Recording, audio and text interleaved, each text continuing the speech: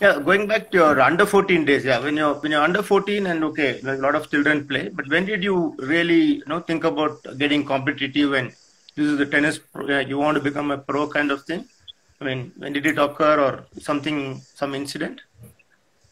I think, well, to be honest, I was always decent as a junior. Uh, so competitive tennis, uh, still playing, you know, ITF juniors level. It kind of came automatically because it was already a set path that, you know, you play these tournaments. If you do well enough, then you play the next set of tournaments. But to take it on as a career post uh, juniors, uh, I didn't really think about it much. and obviously, after having a pretty decent, pretty decent junior career, uh, uh top 10 junior, uh, I, I, like pretty much every junior, thought that, you know, I'm an amazing tennis player who's just going to go straight to the pros. And uh, very, very quickly, we realized when we start playing those satellite circuit back then and the futures circuit now, there's so many levels between playing juniors, uh, being a top junior, and being even a competitor on the ATP tour. So within those six, seven months, I realized, uh, you know, maybe I'm not ready for this uh, journey yet.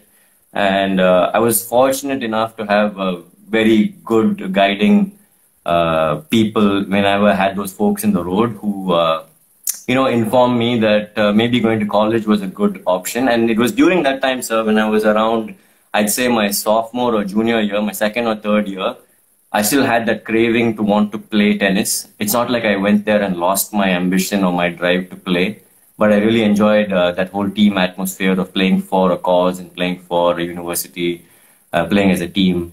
All those things appealed to me, and uh, I was very hungry by the third year. So by the third year, uh, I told my coach there, Matt Anger from University of Washington in Seattle, that uh, I do want to go pro. Pro, I do want to try it and uh, so, yeah, it happened only when I was maybe 20, 21 years old that I was mature enough, I guess, to make a decision like going pro and giving yourself a career in tennis.